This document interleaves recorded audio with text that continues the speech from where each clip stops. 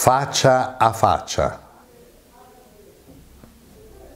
Questi video, questo video, allora se questo è il primo video ti informo che ce ne sono quasi mille, quasi, cioè, tra il 500 e il 1000, 700, 800 video fatti che puoi cercare su YouTube, YouTube, io, Y, YouTube, dove sei adesso? Giorgio Cerquetti.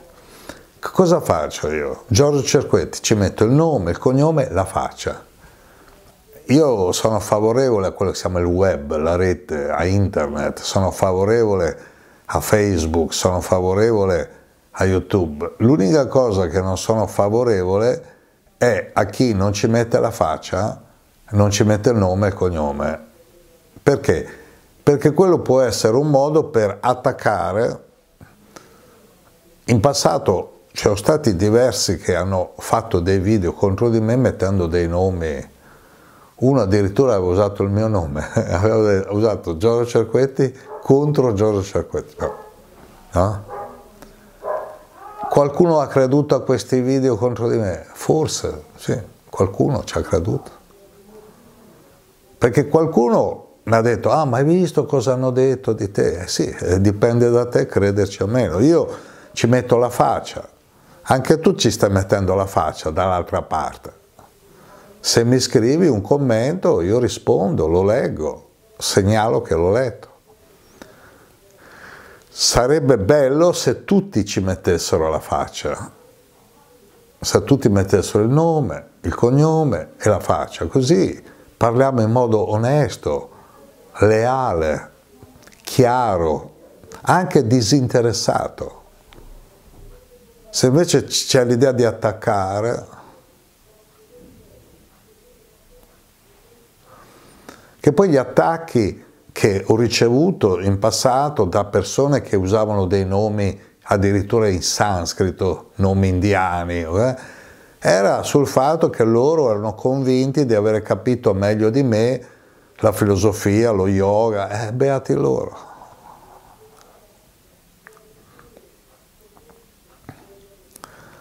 È divertente perché ho ricevuto attacchi dove da una parte mi accusava qualcuno eh, che si definiva devoto o credente, ecco anche la parola credente è una parola così, di, mh, mm, accusavano me di avere rapporti sessuali con ogni donna che incontro.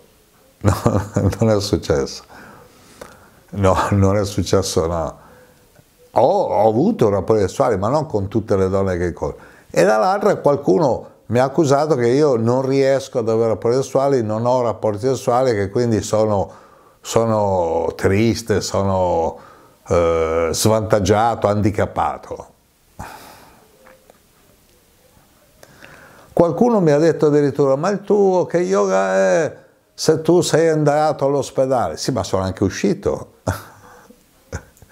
Sono andato, sono uscito, sono, sono andato in coma, nel libro Incontro con la chiara luce, il grande viaggio di andata e ritorno dall'aldilà, parlo, io sono andato in coma, andato nel senso, sono entrato in questa dimensione chiamata coma, che è una dimensione che la scienza occidentale sta studiando da poco, ancora non hanno dei parametri di come delle persone nel coma incontrano altri esseri, parlano, ricevono informazioni, vedono, poi rientrano.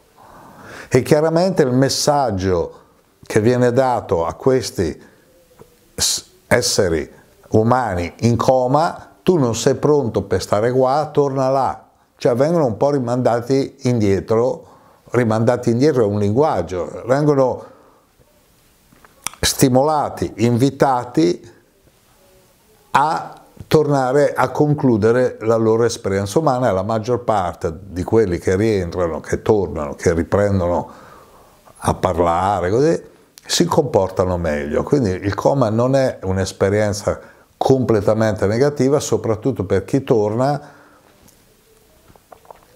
A me è successo tre volte, tre volte, nel 1992 ero in America, altre due volte in Italia, nel 2016 2019, adesso siamo nel 2021, sto bene.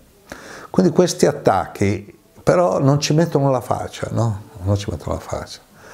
Oppure che cosa è successo? Che da quando c'è internet, ho parlato anche con dei magistrati, degli avvocati mm, polizia postale, non stanno più dietro agli attacchi, agli insulti, alle ingiurie, le chiamano loro, su internet, altrimenti sarebbero milioni di processi, milioni. Quindi a meno che non vedono un po' di gravità, no? Un magistrato mi ha risposto dicendo, eh ma se tu non ci dici chi è il mandante, eh ma tu devi scoprirlo, perché cosa succede? Che se io faccio un video su YouTube e attacco, devo dare i dati a YouTube. Se io faccio un attacco su Facebook e attacco quello, devo dare un nome, un cognome, no? Quindi il controllo dovrebbe essere all'origine. Cioè chi ha accesso a uno strumento molto forte deve metterci la faccia, la voce, il nome e il cognome e se non ha niente da nascondere può criticare, può dare un giudizio anche negativo del, della vita di qualcun altro, di, di un individuo, di un gruppo, ma perché nascondersi dietro una sigla, dietro l'anonimato?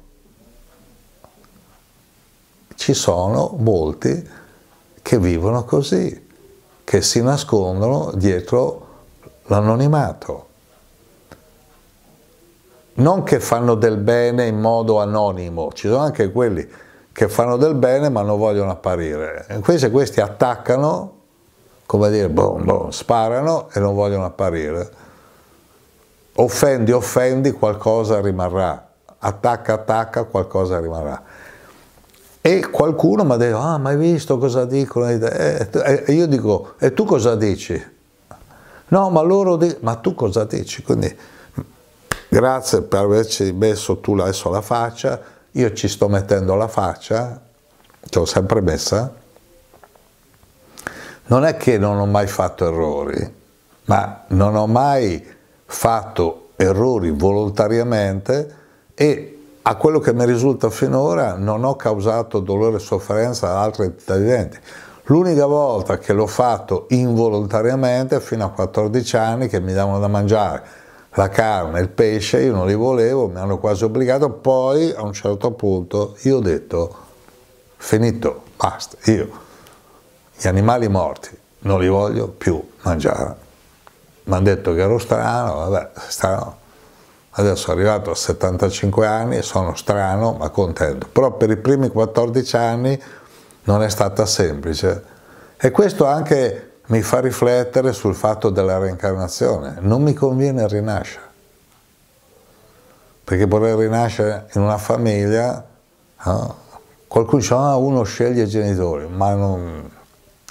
quando lasciamo questo corpo e quindi lasciamo anche questa faccia, questo nome, questo cognome.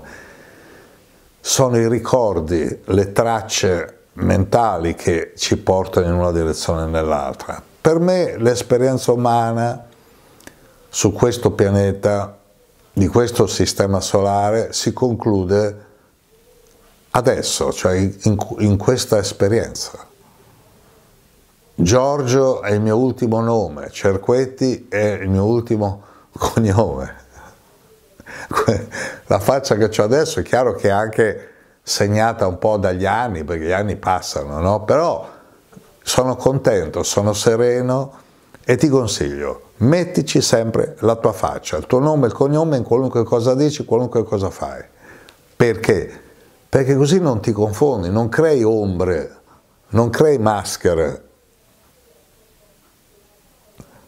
non crei separazione. Scegli chi vuoi essere e se capisci che hai fatto un errore, trasforma l'errore in un'esperienza conoscitiva.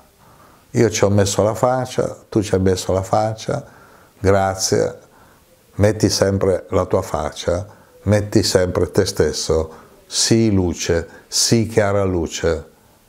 Non è che noi potenzialmente siamo esseri divini, siamo esseri divini in un momento di amnesia. siamo esseri spirituali in un momento di perdita della memoria. È come quando dormiamo, possiamo sognare di camminare ma stiamo fermi.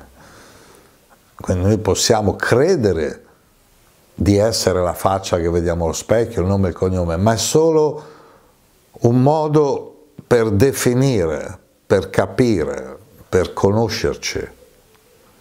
Ma noi non siamo solo questo corpo e siamo qualcosa oltre il nome, oltre il cognome e oltre la faccia.